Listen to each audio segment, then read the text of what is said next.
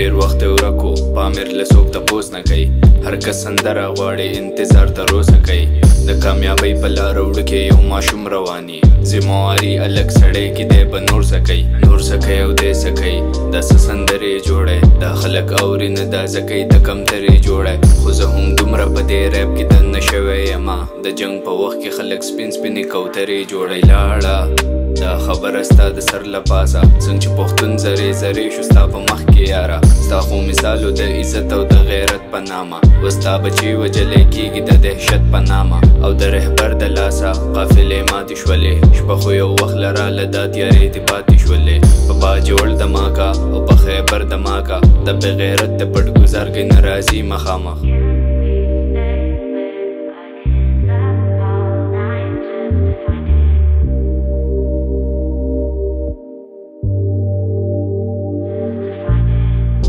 د خاره او زما له خاتمه کوه دستا کمې و دلته ورځ د امن زکاوه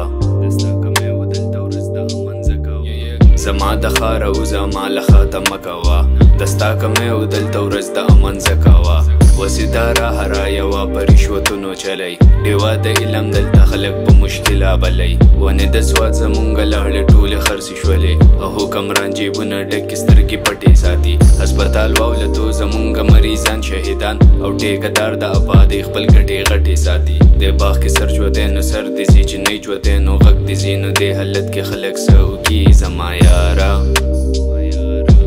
ما ته وایا